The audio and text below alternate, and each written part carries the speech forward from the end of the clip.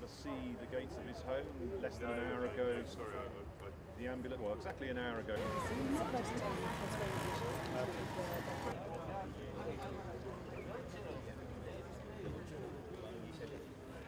Yeah, hi News Channel, how are you doing?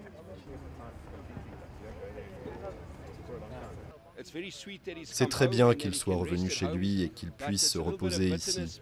Mais il y a un peu de tristesse parce que nous ne savons pas combien de temps il va encore tenir et nous sommes un peu inquiets qu'il ait été renvoyé à la maison pour mourir en paix. Donc c'est un sentiment mitigé. Nous sommes juste ici pour voir s'il va bien et présenter nos hommages. Je suis tellement contente que Madiba soit revenu à la maison pour passer ses derniers jours avec sa famille et ses amis, à la maison plutôt que dans une salle de soins intensifs. Au moins, il aura de l'air frais, il aura des gens autour de lui. Il le mérite. Mourir dans une unité de soins intensifs aurait été dramatique. Nous t'aimons, Madiba.